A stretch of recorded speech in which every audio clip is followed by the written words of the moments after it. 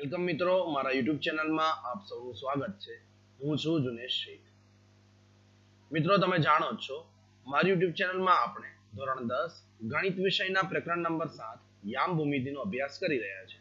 જેમાં લાસ્ટ વિડિયોમાં આપણે ઉદાહરણ નંબર દસ સુધી શીખ્યા. તો ચાલો, આજના વિડિયોથી શરૂઆત કરીએ. સ્વાધ્યાય સાત પોઈન્ટ બે માં દાખલા નંબર એક અને બે આ વિડિયોમાં આપણે જોઈશું અને એને શીખવાનો પ્રયત્ન કરીશું. તો ચાલો શરૂ સ્વાધ્યાય સાત પોઈન્ટ બે નો દાખલા નંબર એક. બિંદુઓ ઓછા એક, સાત અને ચાર ઓછા ત્રણ ને જોડતા રેખાખંડનું બે જેમ ત્રણ ગુણોત્તરમાં વિભાજન કરતા બિંદુના યામ શોધો અહીંયા તમને બે બિંદુઓ આપેલા છે. એક છે ઓછા એક, સાત અને બીજું છે ચાર ઓછા ત્રણ. આ બંનેને જોડતા રેખાખંડ જે છે. એનું વિભાજન થાય છે. કયા ગુણોત્તરમાં થાય છે? બે જેમ ત્રણ ગુણોત્તરમાં. તો એ જે બિંદુ વિભાજન કરે છે બિંદુના યામ આપણે શોધવાના તો ચાલો શરૂઆત કરીએ. આપણે ધારી લઈએ કે ધારો કે આ બે બિંદુઓથી જોડતા રેખાખંડનું જે બે બે જેમ ત્રણ ગુણોત્તરમાં વિભાજન કરે છે, એ બિંદુના યામ એક્સ છે અને બિંદુનું નામ આપણે પી લઈ લીધું. અને અહીંયા આપણને જે બે બિંદુ આપેલા છે માઇનસ એક સાત, એને આપણે એ નામ આપીએ અને ચાર ઓછા ત્રણ, એને આપણે બી નામ આપીએ. તો આ બિંદુ પી એક્સ વાય એ એ ઓછા એક સાત અને બી ચાર ઓછા ત્રણ ને જોડતા રેખાખંડ બે જેમ ત્રણ ગુણોત્તરમાં વિભાજન કરતું બિંદુ છે. તો ચાલો હવે સોલ્યુશન તરફ જઈએ. એ પહેલા અહીંયા જે બે જેમ ત્રણ આપ્યું છે, એમાં જે બે છે એ એને એમ વન કહીશું અને જે ત્રણ છે એને આપણે શું કહીશું? એમ ટુ કહીશું. હવે વિભાજન સૂત્રનો ઉપયોગ કરીને આપણે વિભાજન બિંદુના યામ શોધીશું. તો વિભાજન સૂત્ર તમને યાદ હશે. વિભાજન સૂત્ર છે, વિભાજન બિંદુના યામ બરાબર m1 x2 m2 x1 m1 m2 m1 y2 m2 y1 m1 m2 અહીંયા આપણે વિભાજન બિંદુના યામ શોધવાના છે. અને સૂત્રમાં m1 ની કિંમત છે 2 m2 ની કિંમત છે 3 હવે x1 y1 અને x2 y2 કોણ કહેવાશે? તો જે a ના યામ છે એને આપણે x1 y1 કહીશું અને જે b ના યામ છે એને આપણે x2 y2 કહીશું. તો ચાલો હવે સૂત્રમાં કિંમતો મૂકીએ. તો વિભાજન બિંદુના યામ કયા છે? X y જે આપણે ધારણા કરી છે એ પ્રમાણે. ત્યારબાદ m1 ની કિંમત છે 2 x2 એટલે કે b નું x યામ 4 વત્તા m2 એટલે કે 3 અને x1 એટલે કે a નું x યામ ઓછા 1 ભાગ્યા m1 એટલે કે 2 વત્તા m2 એટલે કે 3 ત્યારબાદ બાજુમાં m1 ની કિંમત છે 2 ગુણ્યા y2 y2 એટલે કે b નું y એમ જે છે -3 વત્તા m2 એટલે કે 3 અને y1 એટલે કે a નું y એટલે કે 7 ભાગ્યા m1 એટલે કે 2 વત્તા m2 એટલે કે 3 ચાલો આગળ સાદુરૂપ આપીએ. તો 2 ગુણ્યા 4 કરીશું તો કેટલા થશે? 8 થશે. વત્તા 3 ગુણ્યા 1 કેટલા થશે? 3 થશે. અને 3 પ્લસ છે અને 1 માઇનસ એટલે પ્લસ માઇનસ શું થશે? માઇનસ એટલે આપણે શું લખીશું અહીંયા? માઇનસ 3 ત્યારબાદ 2 ગુણ્યા 3 કેટલા થશે? 6 થશે. અને બે પ્લસ છે, ત્રણ માઇનસ છે. પ્લસ માઇનસ શું થશે? માઇનસ એટલે આપણે અહીંયા શું લખ્યું? માઇનસ છ.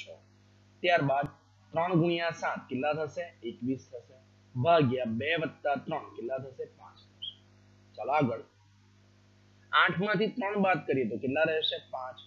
છેદમાં પાંચ એટલે પાંચ ભાગ્યા પાંચ. હવે અહીંયા માઇનસ છ ને પ્લસ 21 એટલે પ્લસ માઇનસ માઇનસ થશે. એટલે બાદબાકી થશે. 21 માંથી છ બાદ થશે. તો 15 રહેશે. 21 મોટા છે, એ પ્લસ છે, એટલે 15 નો પ્લસ રહેશે.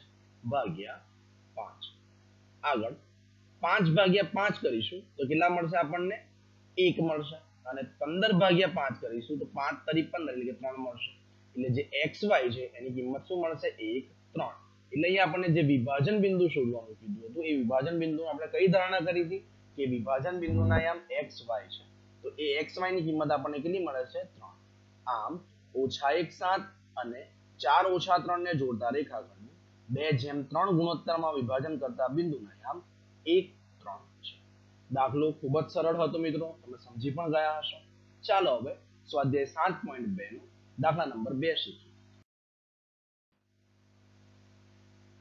દાખલા નંબર બે છે કે બિંદુઓ ચાર ઓછા એક અને ઓછા બે ઓછા ત્રણ ને જોડતા રેખાખંડના ત્રિભાગ બિંદુના યામ આવો સેમ દાખલો આપણે ઉદાહરણ નંબર 9 માં જોઈ ચૂક્યા છે.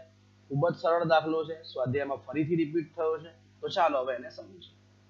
સૌથી પહેલા તો આપણે ધારી લઈએ કે જે રેખાખંડ, જે બે બિંદુઓ છે, ચાર ઓછા એક અને ઓછા બે ઓછા ત્રણ, તે બે બિંદુઓના નામ આપી દઈએ. તો ચાર ઓછા એક ને એ બિંદુ કહીએ અને ઓછા બે ઓછા ત્રણ ને B બિંદુ કહીએ. તેના દ્વારા જે રેખાખંડ બનશે, કયો રેખાખંડ બનશે? બી. તો આ રેખાખંડ બી નું જે ત્રણ સરખા ભાગમાં વિભાજન કરે છે એ બે બિંદુ કયા છે? બિંદુ P અને બિંદુ Q. તમે અહીંયા જોઈ શકો છો આકૃતિમાં કે બિંદુ A અને બિંદુ B નું જે વિભાજન કરે છે, ત્રણ ભાગ સરખા ભાગમાં વિભાજન કરે છે. બે બિંદુ કયા છે? બિંદુ P અને બિંદુ Q. હવે આપણે વિભાજન સૂત્રનો ઉપયોગ કરીને સૌથી પહેલા બિંદુ P ના યામ શોધીશું. કઈ રીતે? તો વિભાજન સૂત્ર શું છે? કે m1 x2 m2 x1 m1 m2 અને m1 y2 m2 m2 y1 m1 m2 હવે અહીંયા m1 અને m2 ની કિંમત નક્કી કરવી પડશે. તો કઈ રીતે નક્કી થશે? તો એનો ગુણોત્તર હોવો જરૂરી છે. અહીંયા આપણને ગુણોત્તર આપેલો નથી. પણ અહીંયા એક વસ્તુ આપણને કીધું છે કે આ જે રેખાખંડ છે, એનું ત્રણ સરખા ભાગમાં વિભાજન થાય છે. હવે આપણે કોના યામ શોધવાના છે? બિંદુ P ના યામ શોધવાના છે. તો એનો ગુણોત્તર કઈ રીતે નક્કી થશે? તો બિંદુ P પહેલા રેખાખંડના કેટલા ભાગ છે? તો રેખાખંડનો એક ભાગ છે. ત્યારબાદ બિંદુ P પછી કેટલા ભાગ છે? તો બે ભાગ છે, એક છે PQ અને એક છે QB ચાલો સમજી ગયા? હવે આપણે ગુણોત્તર કઈ રીતે નક્કી કરીશું? P પહેલા જે છે, જેટલા ભાગ છે, એને આપણે M1 કહીએ, એટલે કે 1 અને P પછી કેટલા ભાગ છે? તો 1 1 2 એટલે કે PB નો જે આખો રેશિયો છે 2 નો એ લઈશું આપણે. એટલે M1 જેમ M2 આપણને કેટલા મળશે?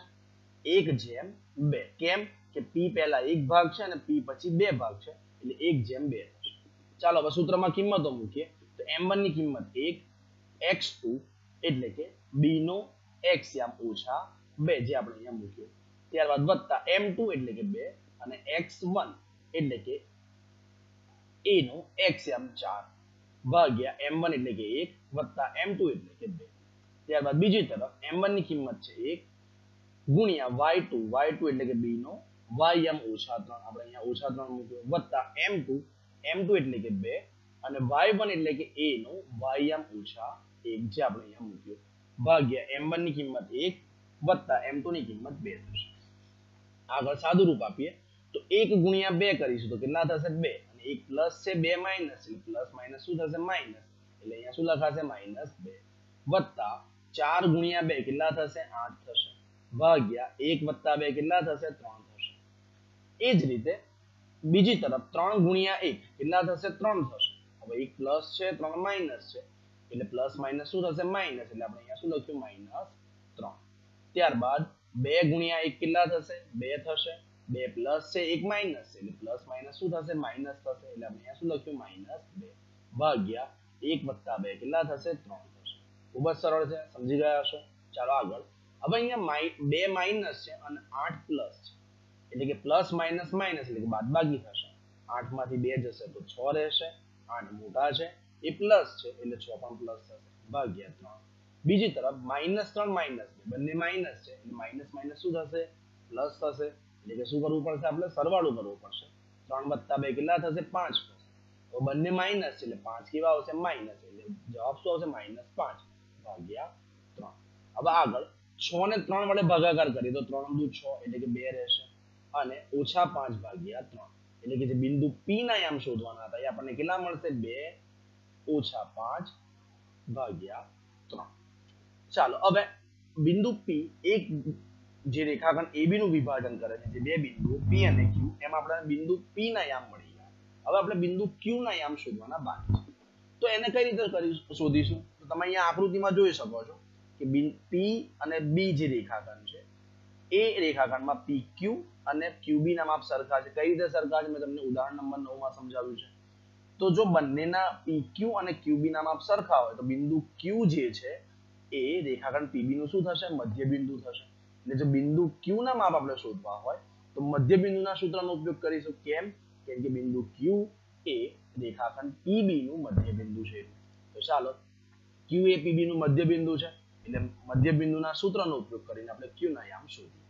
તો Q ના યામ બરાબર મધ્ય બિંદુનું સૂત્ર શું છે? x1 x2 2 y1 y2 2 હવે અહીંયા x1 કોને લઈશું? y1 કોને લઈશું? x2 કોને લઈશું? અને y2 કોને લઈશું?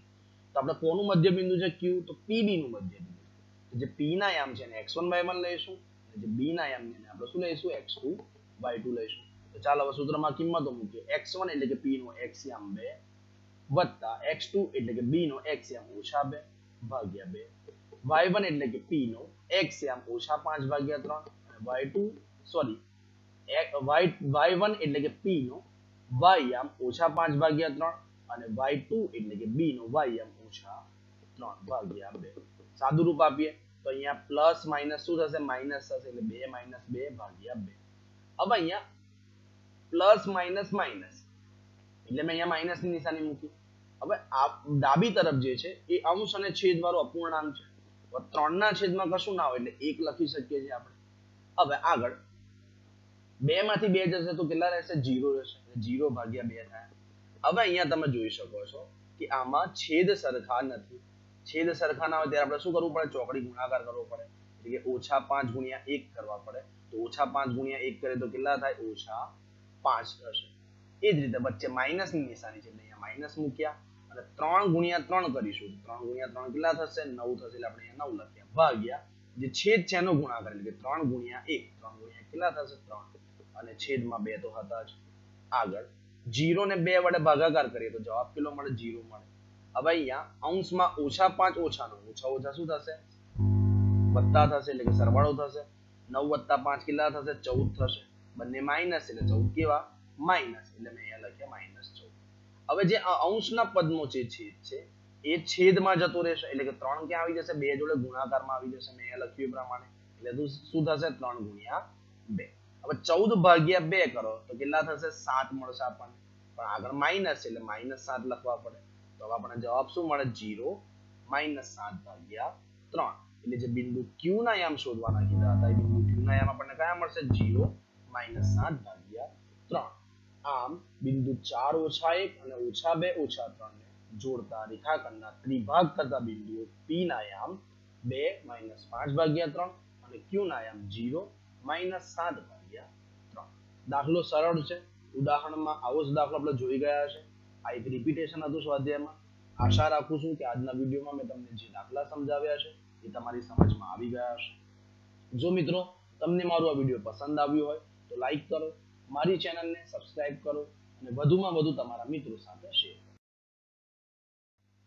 તદુપરાંત ચેપ્ટર નંબર સાત યામ ભૂમિતિના અગાઉના વીડિયો જોવાના બાકી હોય તે તમામ વિડીયોની લિંક મેં ડિસ્ક્રિપ્શનમાં મૂકેલી છે અને એની સાથે અત્યાર સુધી મારી ચેનલમાં જેટલા પણ ચેપ્ટર કમ્પ્લીટ થયા છે, દરેક ચેપ્ટરની પ્લેલિસ્ટની લિંક પણ મેં મૂકેલી છે, ત્યાંથી તમે જોઈ શકો થેન્ક યુ